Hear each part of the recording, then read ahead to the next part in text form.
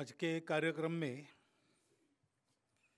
विशेष रूप से उपस्थित आदरणीय श्री ब्रिजमोहन भारद्वाज जी, माननीय प्रांत संघ चालक जी, तथा सभी सेवा के किसी न किसी कार्य में लगे कार्यकर्ता बंधु भगिनी माता।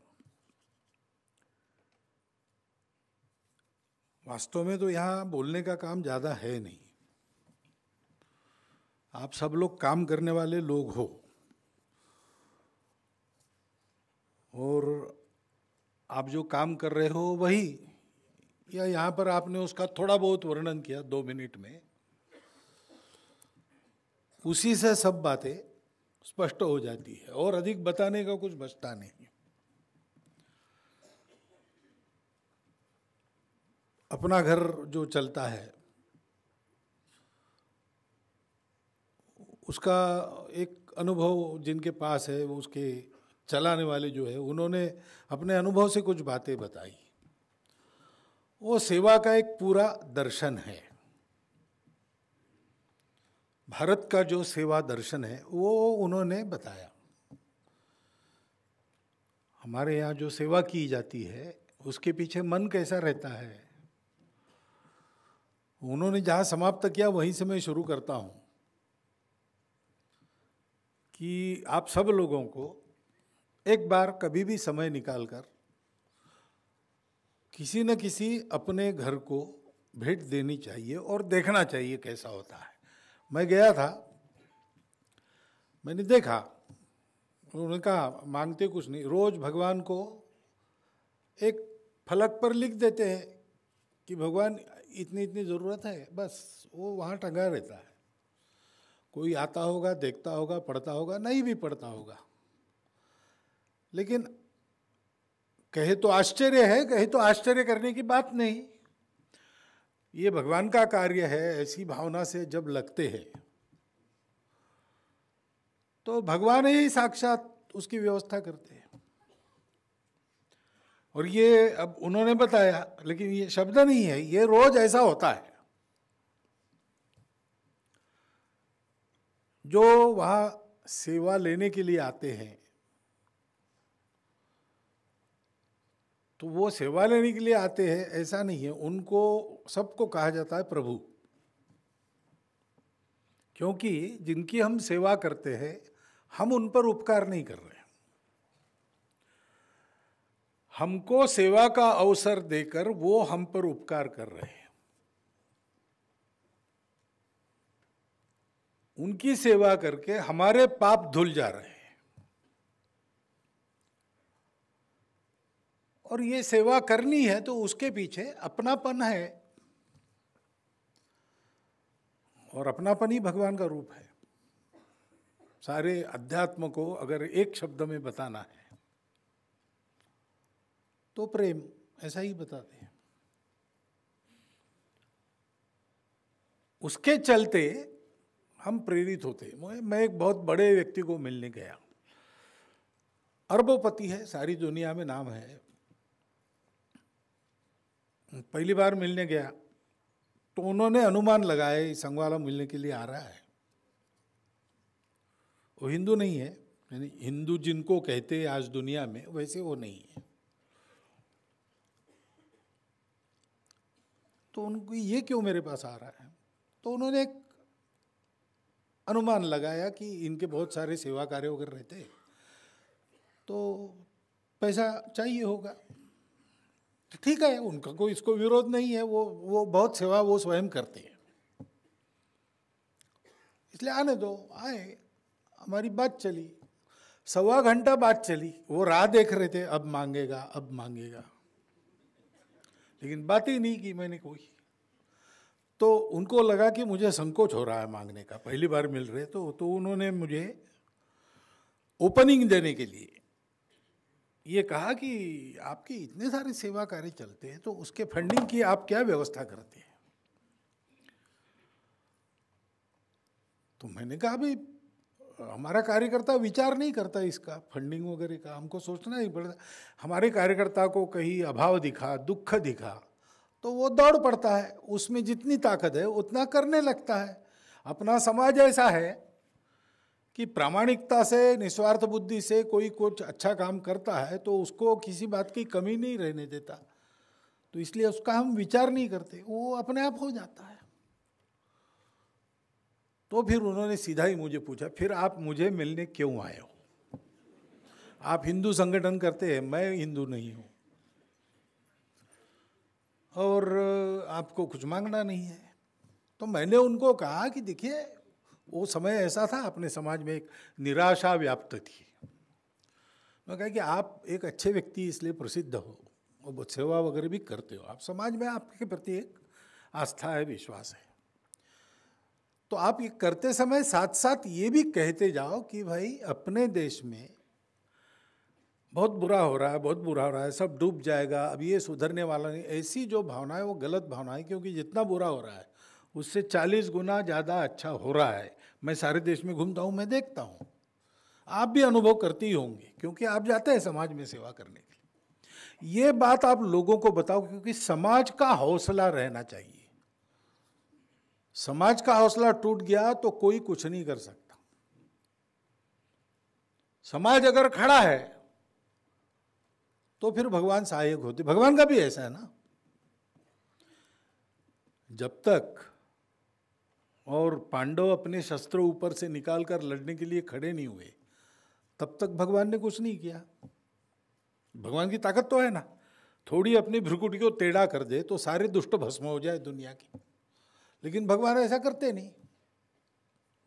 कोई खड़ा हो जाता है सत्य के पक्ष में, सज्जनता के पक्ष में, प्रेम के पक्ष में तो उसको बल देने का काम भगवान करते, उसके हाथ से करवाते हैं। पांडव खड़े हो गए और लड़ना उनको ही पड़ा, भगवान ने केवल रथ चलाया उनका। इसलिए समाज खड़ा करना यह महत्व की बात रहती है। और पूरे समाज को खड़ा करना है तो जिसको खड़ा करना है, उसको मैं और मेरा भूलना पड़ेगा।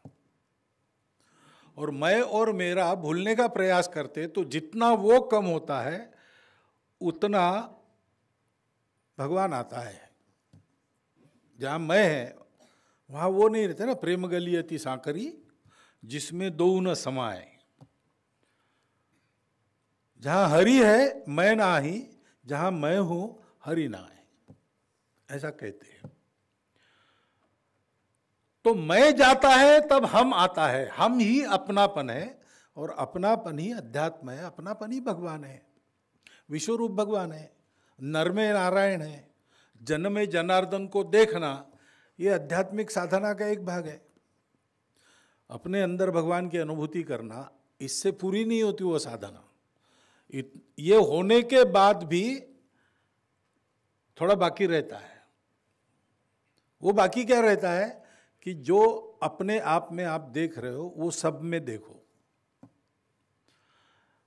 और आपने अगर पहले सब में देख लिया तो आपको अपने आप में देखने के लिए अलग से कुछ नहीं करना पड़ता, वो अपने आप होता है। इसलिए संत तुकाराम महाराज कहते हैं कि जो मराठी में, जे का रंजले गांजले, त्यासी म्हणे जो आपुले तोची साधू ओळखावा, देव तेथेची जाणावा. जो वंचित है, अभावग्रस्त है, पीड़ित है, उनको जो अपना कहता है, वही साधु है, भगवान का वास उसी में है। तो सेवा की प्रेरणा हमारी क्या है? मैंने किया, ये नहीं है। अपनों के लिए किया, ये है। वो अपनापन समाज को जोड़ता है। धर्म का वही आधार है। कर्मकांड ये धर्म का आधार नहीं, वो देशकाल परिस्थिति अनुसार वो चलते रहता है। लेकिन असली धर्म का आधार वही है। सबको सुखी होना है, सबको साथ उन्नति में चलना है। मेरे, मुझे शरीर का भी सुख चाहिए, मन का भी सुख चाहिए, बुद्धि का भी सुख चाहिए, तीनों एक साथ चाहिए। एक के लिए दूसरा कम करूँ तो सुख नहीं मिलेगा। तो बिना आत्मा के वो हो नहीं सकता। मनुष्य भी सुखी होना चाहिए, समूह भी सुखी होना चाहिए, और पर्यावरण भी ठीक रहना चाहिए। तीनों एक साथ करने हैं तो परमात्मा के बिना हो नहीं सकता। मेरी सारी इच्छा पूरी हो और इच्छा पूरी करने के सारे साधन मेरे हाथ में हो। और ये सब करके मुझे अंत में मुक्ति भी मिले। ये बिना धर्म के हो नहीं सकता। क्योंकि इसमें जो अपनेपन का धागा है, वही परमात्मा है, वही आत्मा है, वही धर्म है। धर्म सबको जोड़ता है, सबको उन्नत करता है। तो ये अपनेपन के धर्म को निभाना, मैं और मेरा छोड़ के अपनों के लिए काम करना, ये समाज में जितना होगा, उतना समाज बनेगा। और समाज बनेगा तो देश बनेगा।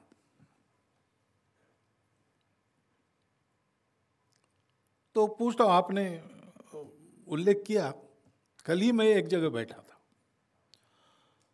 तो नई पीढ़ी एकदम जवान, अभी ग्रेजुएट होने को है फाइनल कोई डॉक्टर बन रहा है, कोई इंजीनियर बन रहा है। वो जाने वाले थे विदेश में पढ़ने के लिए, जैसी आज फ़ैशन है। जाना चाहिए कि नहीं जाना चाहिए? हमको बड़ा ऐसा लगता है अपना देश छोड़ के जाना। मैंने बोला, ज्ञान प्राप्त करना है, आप जाओ। दुनिया में कहीं भी जाओ, चंद्रमा मंगल पर जाना पड़े तो वहीं भी जाओ। ज्ञान जहाँ से मिलता है, वहाँ से ले लेना चाहिए, लेकिन वापस आओ। वापस आओ कहने से थोड़ा उन्होंने कहा कि, लेकिन यहाँ पर फैसिलिटीज़ नहीं है। मैंने बोला फैसिलिटीज़ नहीं है, इसीलिए तो आना है। जहाँ फैसिलिटीज़ है, वहाँ आपका क्या काम है? यहाँ डॉक्टर नहीं है, इसलिए डॉक्टर चाहिए। उन्होंने कहा, लेकिन वो फिर मैंने बोला, नहीं, पहले आप एक तय करो। आपको जो करना है करो। आप जो भी सोचोगे, आना है, नहीं आना है, जाना है, जा, नहीं जाना है, आप जो कहोगे, वो आपके लिए ठीक है। मेरा कोई ये कहना नहीं कि ये सही बात है, करो। वो, आप जो सोचोगे, वो सही है मेरे लिए। लेकिन आप पहले ये तय कर लो कि आप अगर डॉक्टर बन रहे हो तो कमाने के लिए बन रहे हो कि लोगों की जान बचाने के लिए बन रहे हो। कमाने के लिए बनना है तो स्वाभाविक निर्णय होगा, भारत में वापस नहीं आना। और डॉक्टर बन के लोगों की जान बचानी है तो वो भारत में आएगा ही, यहाँ आवश्यकता है। 20 किलोमीटर पर डॉक्टर मिलता है, इसलिए डायरिया का पेशेंट बच्चा दवाखाने में जाते जाते मर जाता ऐसी जहाँ स्थिति है, वहाँ डॉक्टर चाहिए तो आप वापस आओगे। निर्णय आपको ये नहीं करना है, आना है कि वहाँ जाना है। निर्णय आपको ये करना है कि आपको जीवन में करना क्या है, कमाना है कि बचाना है। हमारे यहाँ कमाने वालों की प्रतिष्ठा नहीं है, बाहर है। फोर्ड है रॉक फेलर है, इनके चरित्र बनते हैं। क्यों? क्योंकि बहुत कमाया उन्होंने। अब उसके पीछे कर्तृत्व है। कमाना भी कोई आसान काम थोड़ी है, वो भी एक पुरुषार्थ है। लेकिन हमारे यहाँ तो बांटने वालों के चरित्र है। कमाया बहुत, लेकिन राणा प्रताप को दे दिया आज़ादी की लड़ाई के लिए। तो भामाशाह का चरित्र है। बाकी कमाने वाले ठीक है, नाम आते हैं, जाते लोग भूल जाते हैं। सिंहासन पर बैठे बैठे, बैठने का मौका था, लेकिन पिताजी के वचन के लिए जंगल में चले गए चौदह नहीं चाहिए वो राज्य हम उनका चरित्र लिखते ये भारत है। उस भारत को भारत बनाकर खड़ा करने के लिए इस प्रकार की सेवा आज आवश्यक है। वो भारत का सेवा दर्शन है। और ये सुयश क्यों निकला? संघ ने सुयश, समाजोपयोगी युवा शक्ति, उसका अंग्रेज़ी का पहला अक्षर लेके बना ही है। देवनागरी का अक्षर लेके नहीं बना है। समाजों का एस, उपयोगी का यू, वाई, ए, एस। ऐसा वो किया है। खैर, जो भी है। लेकिन ये संघ ने क्यों किया? तो अनुमान लगाएँगे लोग बाहर से। जैसा चल रहे हैं दुनिया का कि ये संघ ने इसलिए किया कि इनका संपर्क बढ़ना चाहिए और नए नए लोग जुड़ने चाहिए। अब ये हम कर रहे हैं तो ये होगा, ज़रूर। ये स्वाभाविक होना है। लेकिन ये उद्देश्य नहीं है ये करने का।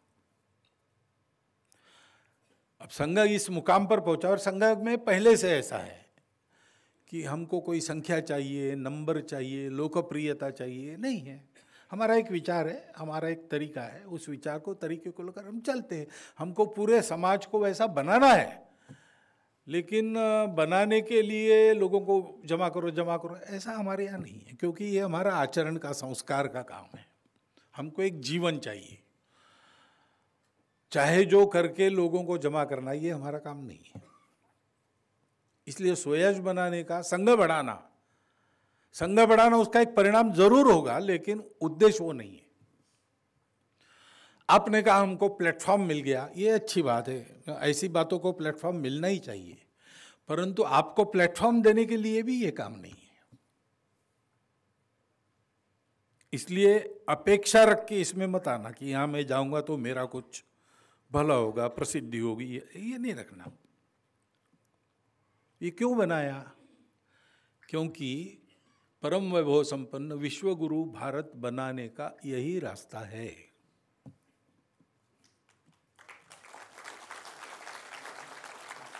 किसी संगठन पर निर्भर होकर, किसी सरकार, पार्टी, व्यक्ति इन पर निर्भर होकर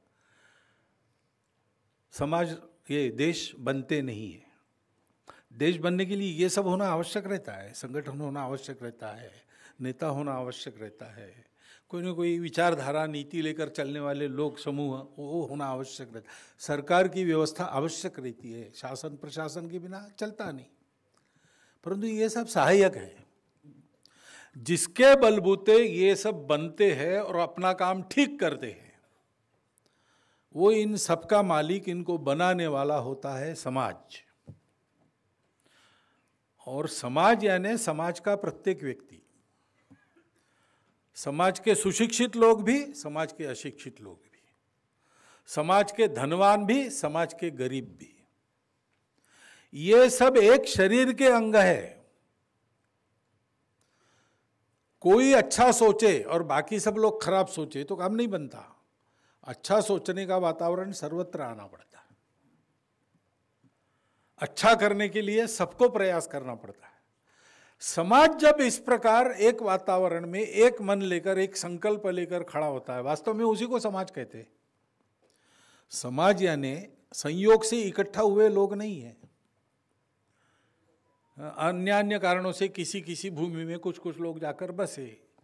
अब इकट्ठा है तो समाज ऐसा नहीं है। ऐसा होता तो गाड़ी के डिब्बे में भी लोग इकट्ठा आते हैं और बाज़ार में भी रोज इकट्ठा आते हैं। उसको हम समाज नहीं कहते, उसको हम भीड़ कहते हैं। लोगों की भीड़ है। समाज वो होता है जिसके सामने एक समान उद्देश्य है। भारत का भारतीय समाज, भारत का हिंदू समाज है। यानी क्या है? उसके सामने एक उद्देश्य है। हम जाने न जाने, आज हम भूल गए होंगे तो भी, जब हमको याद आएगा तो वही उद्देश्य याद आएगा। वो क्या है? एक एतद्देश प्रसूत से सकाशादग्र जन्मनाथ स्वम स्वम चरित्रम शिक्षेरन पृथिव्याम सर्वमानव।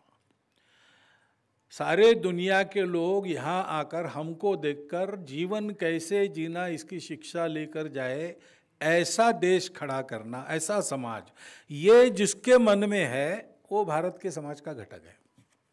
और इसलिए देखो कि थोड़ा याद आ जाए, थोड़ा समर्थ हो जाए, थोड़ा विचार करे तो अपना व्यक्ति, भारत का व्यक्ति हमेशा क्या बोलता है? मैं देश की बात कर रहा हूँ, लेकिन पहले भारत का व्यक्ति देश की बात नहीं बोलता। वो बोलता है, विश्व में शांति होना चाहिए। सत्य होना चाहिए, अहिंसा होना चाहिए। ये जात पात पंथ, संप्रदाय पूजा पाति के भेद गलत है। अरे भाई, तुम पहले भारत को खड़ा करने की बात करो ना। वो भी है, लेकिन पहले ये बोलता है। पूरे विश्व की चिंता करने वाला, पूरे वसुधा को अपना कुटुंब मानने वाला। हम सोचे न सोचे, याद करे न करे, चाहे न चाहे, हमारा मन ये बना है हज़ारों वर्षों की परंपरा ने हमको ऐसा ही बनाया है। वो हमारे डीएनए में आ गया है। और इसलिए ऐसा समाज खड़ा होता है, तब ये सारी बाकी बातें काम करती है। नहीं तो उनका किया हुआ भी बेकार जाता है। कितना कितना त्याग, बलिदान करके हमको ये स्वतंत्रता मिली। और केवल अठारह सौ सत्तावन के बाद उन्नीस का काल देखे तो कितने महापुरुष, कितने चरित्रों एक से एक आदर्श, सब जाति वर्गों में, सब प्रकार के स्तरों में समाज के, सारे समाज के, देश के भूगोल में, चप्पे चप्पे में हम सबको प्रेरणा देने वाले, जीवन कैसा होना चाहिए इसकी शिक्षा देने वाले उदाहरण है, हमको वहाँ वहाँ पता है। लेकिन उनका किया हुआ 1947 के बाद थोड़ा थोड़ा बाहर आने में, फलित होने में इतना समय क्यों लग रहा है? उन्होंने अपना काम किया, लेकिन हम तैयार नहीं है। बहुत अच्छा बीज डाला है, बहुत अच्छा खाद दिया है, बहुत अच्छा पानी डाला है, लेकिन ज़मीन को पहले तैयार नहीं किया तो फिर खेती कैसे होगी? ये सब करने के पहले ज़मीन को तैयार करना पड़ता है। ऐसे ये सब हुआ है हमारे यहाँ। लेकिन हम लोग तैयार नहीं हुए। हम लोगों को तैयार करने का प्रयास चला है। उस प्रयास में एक प्रयास संघ का भी है, इसलिए संघ ये करता है। संघ कहता है, समाज को जगाओ। समाज को संगठित करो। समाज अपनेपन से एक दूसरे का विचार करे। समाज अपने छोटे अहंकार को, व्यक्तिगत अहंकार को, सामूहिक अहंकार को भूल जाए। पूरा समाज, हम एक राष्ट्र पुरुष है। इस भावना से अपने राष्ट्रीय लक्ष्य को सामने रखकर दुनिया के जीवन में योगदान करने वाला समाज बने। क्षमता हर एक की अलग होगी, बुद्धि हर एक की कम ज़्यादा होगी, साधन हर एक के कम ज़्यादा होंगे, लेकिन सब लोग एक बात पर एक मत है कि जो भी है, मेरे पास जितना है, वो सबके लिए है। जो मेरे पास है, उसके लेकर मैं सबकी सेवा करूँगा। ज़रूर नहीं एकदम अखिल भारत में कीर्ति संपन्न पुरुष हम हो जाए। हम अगर पाँच परिवारों में बदल ला सकते हैं, उतनी अपनी ताकत है तो उतना करूँगा। जो भी है। रोज सूर्य भगवान प्रकाश देते हैं। एक बार उनकी इच्छा हुई। उन्होंने देखा भारत में आके। अर्न लीव मिलती है कैजुअल लीव मिलती है, और लीव लेने में ज़्यादा रहते लोग काम करने के बजाय। उनको लगा मैं युगों युगों से कर रहा हूँ, सात दिन मैं छुट्टी पर जाता हूँ। तो उन्होंने बुलाया सब प्रकाश देने वाली वस्तुओं को कि देखो भाई मैं अब थक गया हूँ, जरा सात दिन आराम करता हूँ, आप लोग काम संभालो चार्ज किसको देना बताओ। सारी दुनिया में प्रकाश देना है नियमित, आधे में बारह घंटा, आधे में बारह घंटा। तो उसके बाद तो एकदम चंद्र ही दिखता है। तो चंद्र ने कहा कि महाराज, मैं तैयार तो हूँ, लेकिन क्या है? मैं प्रकाश देते हैं, आपसे लेके देता हूँ। आप छुट्टी पर जाएँगे तो मैं क्या करूँगा? फिर बाकी जो ऐसे थे, बल्ब थे, ट्यूबलाइट थे, ऐसे थे, वैसे थे, उन्होंने कहा कि वो है हमारा प्रकाश, लेकिन हम सारी दुनिया को तो नहीं कर सकते। फिर एक छोटा सा दिया था वहाँ पे। सूरज भगवान ने कहा, क्या तुम क्या उन्होंने कहा, महाराज, मैं क्या कर सकता हूँ, मैं नहीं जानता। पूरी दुनिया को मैं प्रकाश दे सकता हूँ कि नहीं। लेकिन एक वचन मैं आपको देता हूँ। मेरी तेल और बाती जब तक साबुत है, तब तक मैं जलता रहूँगा। सारी दुनिया में प्रकाश देने के लिए प्रत्येक दिए का ये संकल्प चाहिए। सूरज जैसा तेजस्वी होना आवश्यक नहीं है। ये संकल्प चाहिए। और दिया तो उत्तम दिया वो होता है। जिसको बाहर से किसी बात की जो आपने कहा, अभी पूर्ण अपने भाषण में उनका कहना यही था कि ये चाहिए, ये नहीं है, वो नहीं है, छोड़ दो। क्योंकि उस उत्तम दीप के बारे में ये कहते हैं कि अपेक्षंते न च स्नेहम। स्नेह यानी किसी का प्रेम वाहवाही वगैरह नहीं चाहिए रिकग्निशन नहीं चाहिए। मंच पर बुलाया इसलिए आ गए, लेकिन मंच नहीं चाहिए। भारद्वाज जी को बुलाया इसलिए वो यहाँ है, लेकिन वो मंच पर नहीं आए। वो वहाँ बैठे हैं। प्रमुख अतिथि होने के बाद भी। उनका नाम मुझे पहला लेना पड़ता है क्योंकि वो प्रमुख अतिथि है। फिर भी वो वहाँ बैठे अपेक्षंते न च स्नेहम। और स्नेह का दूसरा अर्थ होता है तेल। तेल भी नहीं चाहिए। वो दिया, उत्तम दिया कैसा है? उसको तेल नहीं चाहिए, उसको स्नेह नहीं चाहिए रिकग्निशन नहीं चाहिए। न पात्रम, कोई स्टेटस भी नहीं चाहिए। या कोई बर्तन भी नहीं चाहिए। न दशांतरम। बार बार वो बाती को आगे करना पड़ता है। इसकी ज़रूरत नहीं, वो एक बार लग गया, काम में लग गया। फिर कोई उसको उत्साह दे न दे, उसके अंदर ही उत्साह है। अपेक्षन्ते न च स्नेहम, न पात्रम न दशांतरम, सदा लोकहिते युक्ता। बिना इसके वो सदा लोकहित में रत रहता है रत्न दीपा इवोत्तमा। रत्न दीप ऐसा होता है। वो रत्न प्रकाशमान है स्वयं, का जहाँ रखेंगे, वहाँ वो प्रकाश देगा। वो उसका स्वभाव है, उसका धर्म है, उसको न तेल चाहिए, न बाती चाहिए, न पात्र चाहिए। समाज में स्वभावतः इस प्रकार अपनेपन के आधार पर अपनों के लिए जीने वाले लोग जितने ज़्यादा, उतना वो समाज अधिक संगठित, अधिक स्वस्थ, अधिक धर्म से चलने वाला समाज होता है। और ऐसे समाज के सरकार, नेता, नारा, नीति, पार्टी, संगठन, संस्थाएँ सब कुछ अपना काम ठीक करके समाज का वैभव बढ़ाना और अपना समाज सारी दुनिया को अपना मानता है, इसलिए साथ साथ पूरी मानवता का वैभव बढ़ाने वाला होता है। इसलिए सबके सामने ये आना चाहिए। जो मैंने, मैं कहता हूँ हमेशा, जो उस बड़े आदमी को मैंने बताया, वो मैं हमेशा कहता हूँ कि अपने समाज में जितना खराब चलता है, ऐसा लगता है। उससे चालीस गुना ज़्यादा अच्छा हो रहा है। वो प्रसिद्धि के प्रकाश में नहीं आता, इसलिए मालूम नहीं, लेकिन ये है। और इसलिए निराश नहीं होना, अच्छाई की राह नहीं छोड़ना, उस पर डट के चलना, क्योंकि अच्छा ही होने वाला है। ये विश्वास समाज में जगना चाहिए, इसलिए आप लोगों का काम दुनिया के सामने आना चाहिए, आपके प्रसिद्धि के लिए नहीं, आपको प्रसिद्धि नहीं चाहिए।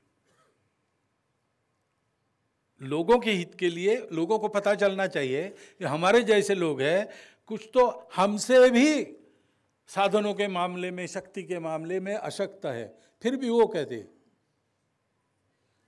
वो स्वयं अभावग्रस्त है, अभावग्रस्तों की सेवा कर रहे हैं। यहाँ भी आपको उदाहरण मिले।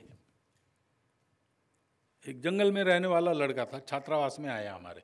वो अपने जंगल के अंदर वाले देहात से नौकरी चौथी भी पास नहीं था। मैंने अपना अपना हस्ताक्षर भी नहीं कर सकता था। नौकरी के लिए आया। अब उसको रहने को कहा, जगह, ब्लॉक का स्थान था। तो वहाँ का अपना छात्रावास चलता था। वनवासी लोगों के लिए। उसमें आया। उसमें रहा तीन दिन। किसी की पहचान से आया। तीन दिन घूमा। अब ऐसे व्यक्ति को कहाँ से नौकरी मिलने वाली है? कोई स्किल नहीं है, कोई पढ़ाई नहीं है, कुछ नहीं है। तीन दिन के बाद उसने छात्रावास प्रमुख को कहा कि आप मुझे यहीं पर रख लो अब। ये हम देख रहे हैं, आपका छात्रावास है तो मैं भोजन बना सकता हूँ, पानी भर सकता हूँ, सफ़ाई कर सकता हूँ। हमारे छात्रावास ने, प्रमुख ने कहा कि भैया, तुमको वेतन तो हम बहुत नहीं दे सकते। हम स्वयं लोगों की दया पर अपना प्रकल्प चलाते हैं। तो हम तुमको ज़्यादा से ज़्यादा तीस रुपया महीना दे सकेंगे। उसने कहा, कोई बात नहीं, मुझे ज़रूरत इतनी है और हम जहाँ रहते हैं, वहाँ ज़रूरत भी ज़्यादा नहीं रहती है। देहात में वो जंगल के अंदर क्या है, रोज़ का भात मिल गया और वो पेड़ पौधे और घास से छप्पर सजा लिया तो उनका काम हो गया। ज़रूरत बहुत कम है। इसलिए तीस रुपया चलेगा। आप ऐसा करो, चार महीने का एक साथ दे दो तो मैं घर बेच बेचता रहूँगा। ठीक है। उसकी ज़रूरत दे के छात्रावास में कर रहा हूँ। चार महीने के बाद वो उसको पैसा दिया एक तो उसने वापस कर दिया। छात्रावास में कहा, मैंने पहले ही बताया था तुमको हम ज़्यादा नहीं दे सकते। तुम गुस्सा हो गए छोड़ना है तुमको, छोड़ो ये एक सौ बीस रुपया ले लो। वो तुमने काम किया है, वो तुम ले लो, कल से जा सकते हो। उसने कहा, नहीं नहीं, मैं गुस्से में कहा हूँ? तो पैसा क्यों वापस किया। तो मैं पैसा नहीं लूँगा। तो क्या करोगे? कहाँ जाओगे? जब जाने वाला नहीं हूँ मैं। यही काम करूँगा सारा। पैसा नहीं लूँगा। क्यों नहीं लेंगे भाई नहीं, वो एक आपके आए थे, क्या कहते आप उनको? विभाग, यहाँ विभाग प्रचारक, वो आए थे आपके। मैंने उनको पूछा, आपका नाम क्या है? आप क्या करते हैं? तो उनका यही करता हूँ, घूमता हूँ सब जगह ऐसे, ये सब चले वगैरह प्रयास करता हूँ। तो मैंने उनको पूछा, आप क्या पढ़े हैं? तो अभी ये अनपढ़ है ना स्वयं, उसको क्या पढ़े नहीं, ग्रेजुएट क्या होता है, मैट्रिक क्या होता है, ये भी पता नहीं। उसको तो आंकड़ों में बताना पड़ता। तो प्रचारक ने बताया कि मैं बाईसवीं पढ़ा हूँ। तो B com L L B ऐसे कुछ थे, बाईसवीं पढ़ा हूँ। चले इतना पढ़े आप? हाँ। तो फिर आपको कितना पैसा मिलता है इसका? तो बोले, पैसा नहीं मिलता। पैसा नहीं मिलता? तो आपका घर कैसे चलता है? तो मेरा घर नहीं है। मैंने विवाह वगैरह किया नहीं। मेरा पर भाई है, उनके परिवार है, वो चलाते तो बोले, आपने विवाह क्यों नहीं किया? तो ये काम करना था। तो इस काम के लिए आपने विवाह नहीं किया, पैसा नहीं लिया। नहीं, ऐसा क्यों करते आप? तो बोले, क्यों करते हैं? नहीं अपने सब लोग हैं ना, उनके लिए करना है। तो मेरे मन में आया कि ये बहुत पढ़े लिखे होंगे, इसलिए समझ के करते होंगे। हम अनपढ़ है तो क्या हुआ? हम ऐसा नहीं कर सकते क्या? मैं ये बिना पैसा लिए काम करूँ। और पंद्रह साल वो बिना पैसे लिए ये सब काम करता रहा। अंत में उसकी भविष्य की सोचकर उसको ड्राइविंग वगैरह सिखाकर हमने ही उसको कहा कि तुम भैया विवाह वगैरह करो, कमाओ, खाओ और ये काम भी करो बचे हुए समय में। इसलिए उसने ये सब किया। अभी भी है वो। अब उसके लड़के भी इस प्रकार सार्वजनिक कार्य में अपना समय देने वाले हो गए। अभी पढ़ रहे हो, लेकिन अभी से उनका ये सब चलता है। तो क्या चाहिए? सेवा करने के लिए कुछ नहीं, एक अंतकरण चाहिए जिसमें अपनत्व है। बाकी कुछ नहीं चाहिए, सूर्य होने की आवश्यकता नहीं। आप भले ही मिट्टी के एक दीप हो, लेकिन आप भी अपना काम कर सकते हो। ये समाज में संदेश जाना चाहिए। नहीं तो लोग सब, हम क्या करेंगे? अरे, हम आप ही सब कुछ करेंगे। आप करेंगे तब बड़े लोग भी करेंगे। इसलिए इस मंच के माध्यम से ऐसे लोगों को सामने लाना, ताकि आपके जैसे सेवा करने वाले समाज में और खड़े हो, और आपका भी उत्साह बढ़े, आप दुगने ज़ोर से सेवा में लग जाए। और जैसा मैंने कहा कि ये करेंगे तो संघ का काम बढ़ेगा, ये अपने आप होगा। उसके लिए काम नहीं। वैसा इस मंच पर आप आ गए, एक दूसरे से परिचय हो गया। तो आप मिलकर काम करेंगे तो एक दूसरे को मदद भी होगी और ऐसी सेवा भी बढ़ेगी। ये होगा, उसके लिए नहीं आना, लेकिन ये होने वाला है। जो आपको लगा कि अब यहाँ आएँगे तो किसी किसी ने कहा भी कि हमारे काम में मदद होनी चाहिए, ये सब होगा। ये होना ही है, स्वाभाविक है। वो नहीं हुआ तो देखना पड़ेगा कि कहाँ गड़बड़ हम में है, जैसा आपने कहा। इतने सब लोग इस प्रकार सी भावना लेकर काम करने वाले इकट्ठा आते हैं तो एक दूसरे को मदद करेंगे ही, नहीं करेंगे तो मतलब क्या है? उनको बुलाने वाला संघ जैसा अगर संगठन है तो वो तो कुछ ना कुछ हाथ लगाएगा ही, जितनी ताकत है जहाँ, उतनी वहाँ हाथ लगाएगा ही। ये नहीं करेगा तो बुलाने में ही गड़बड़ है ना, भाव में ही गड़बड़ है कुछ। इसलिए ये सारी बातें होगी। लेकिन ये अपेक्षा नहीं है। उद्देश्य अपना क्या है? समाज में ये पता चले कि हम सब लोग कर सकते हैं। इसलिए निराश होने की आवश्यकता नहीं है। सब गड़बड़ हो रहा है। सब गड़बड़ हो रहा है तो एक छोटा काम मैं कर सकता हूँ। और मैं जानता हूँ कि एक जगह अगर छोटा काम ठीक से हो रहा है समझ के तो सारी परिस्थिति बदल सकती है। भगवत गीता में कहा है स्वल्पम अल्पस्य धर्मस्य त्रायते महतो भयात। छोटा मोटा धर्म करें हम, यानी समाज की धारणा करने का काम करें, समाज की उन्नति का काम करें, छोटा मोटा भी करेंगे तो बड़े बड़े डर के विषय दूर हो जाते हैं। तो अपने जगह पर आप ये सब करते रहे और समाज के लोगों को भी पता चले कि हम भी कर सकते हैं। इसलिए आज का ये जो कार्यक्रम हुआ है, वो मैं देख रहा हूँ कि अत्यंत यशस्वी है। और उस यश की भावी प्रयासों में भी मैं आप सबको शुभकामना देता हूँ।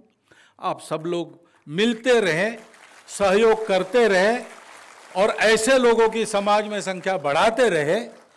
ये एक शुभकामना आपको देता हुआ और फिर एक बार आप सब लोगों का हार्दिक अभिनंदन करते हुए कृतज्ञता पूर्वक आपको वंदन करते हुए मेरे चार शब्द में समाप्त